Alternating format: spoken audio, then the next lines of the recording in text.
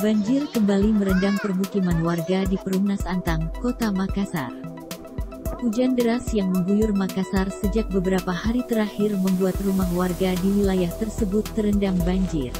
Ini sudah di atas lutut saya, menghampiri rumahnya Adinda.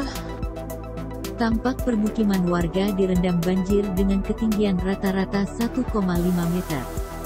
Sejumlah rumah warga bahkan ada yang terendam air hingga sebagian bangunannya.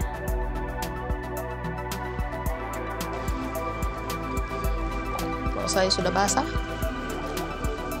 tinggi amat. Ya sampai pahaku megang. Halo.